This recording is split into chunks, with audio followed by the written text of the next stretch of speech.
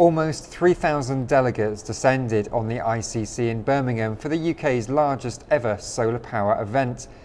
The industry has seen tremendous growth in a short time. As a barometer, this event is around five times bigger than last year's. Two years ago, when the feed-in tariff was introduced, there were 400 registered installers. There are now more than 3,000. So Solar Power UK aims to unite the various players, large and small. Well, Solar Power UK is really bringing the industry together at a very turbulent time. There's a lot of rumours, there's a lot of conjecture about will the feed-in tariffs be slashed before the April deadline set by the Department of Energy and Climate Change for next year. Um, we've got the Minister coming tomorrow and we're all eagerly awaiting an announcement from the Minister to understand will there, won't there be an emergency review. So Solar Power UK is really about bringing the whole industry together to understand what the cuts might be, but more importantly how we can work beyond those cuts and how we can build a sustainable solar industry in the UK for many years to come. The event is giving the businesses operating throughout the industry access to the experts and the early delegates had a variety of reasons for attending. I'm looking to understand better the future of the solar PV industry in the UK. It's always been upset by um, various government decisions in the last few months, and I'm uh, looking to get a better understanding where the future might be.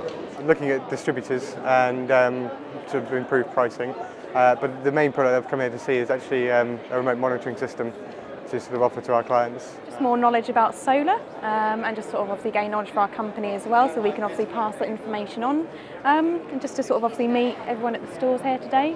You notice these type of shows coming up all over the place and um, I think there's definitely a bit of a buzz about them and to, to be part of it is, is definitely where we as a company want to be.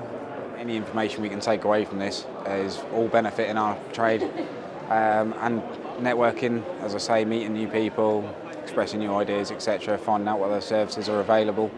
Birmingham proudly sees itself at the forefront of environmental technologies, especially with photovoltaics. The Council aims to set the standard for the whole country to follow, so it's significant that the event is being held in the city. The local government is pushing ahead with major developments to introduce solar power in the region. We've launched Birmingham Energy Savers. We've already completed phase one, which is a very small pilot in an eco-village in the Summerfield area of Birmingham, retrofitting about 40 council properties.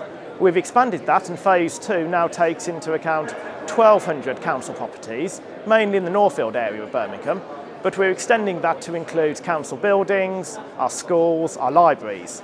But the big game change will be phase three, which is a multi-million pound investment utilising the very generous feed-in tariff we have in Birmingham, uh, which will roll out photovoltaics to over 8,000 buildings in Birmingham.